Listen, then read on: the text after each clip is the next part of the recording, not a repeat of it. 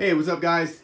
Awesome Arcades. So in this video, I'm going to be showing you a new product that I'm going to be carrying. Probably not going to be having it in stock until October or November of this year, but this is a, uh, not a prototype, but it's the first sample that I bought from this other company. I'm going to be carrying both types of cocktail tables, um, but this is different. So this is going to be the uh, equivalent of my classic cocktail, but just from a different company.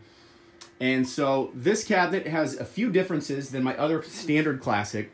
And I should just point out that for now, this is the only one that I've got. I'm gonna make some videos and take some marketing pictures of it, and then I'm gonna sell it. So if you're interested, it has a 21 inch LED monitor, wide viewing angle screen, versus the 19 inch, which is on my standard cocktail. In addition, it does come with trackballs. It's got a lid that is on hinges and it has uh, two speakers. So my standard classic cocktail has a 19 inch LED monitor and a single speaker and no stereo amplifier. This one has a 21 inch monitor. It comes with the trackball on both sides. And it does have two speakers and a stereo amplifier. In terms of the dimensions, I'll have them on the website. So it plays the exact same 60 game board that the other cabinet plays. So rather than go into the 60 game board and tell you all about that, I'm going to link the video from the other cabinet that tells you all about what the cabinet can do. Uh, and then I'll leave the dimensions on this one as kind of a standalone uh, because, you know, they play the same games. So it's almost like if they were a car, they have the same engine, it's just the exterior is different.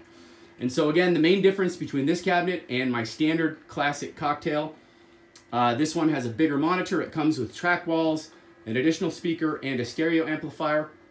The dimensions are slightly different, but it's pretty much the same size. Uh, it is 28 inches tall, just like the same one. It does have the exact same coin mech, the same brand of buttons. Um, yeah, so I'm going to list this on the website. Uh, I'm still not exactly sure what the price will be. That'll be on the website. I've got to think about that and check the shipping cost. Um, it does weigh about five pounds more than the other cabinet. But again, like I said, I'm going to link the video from my other cocktail table to show you about the game board because it plays the same game board. And so rather than do two different videos, uh, yeah. Oh, I should point out that this cabinet, the only top available for this cabinet, I don't have any artwork for this one, so black is the only option that you could get. Uh, and then, of course, the control panels on this one are black. The other cabinet is blue. Uh, those red joysticks, those are eight direction joysticks. Those are the joysticks that come with it. Uh, I should also point out that this cabinet is designed for the 60 game board. Uh, the trackballs on this cabinet will not work on the 412 board. So if you're planning on getting the 412 board, you'd want to look at the other cabinet. This one is specifically set up for the 60, or at least if you want the trackballs to work, these trackballs are only compatible with the 60 game board.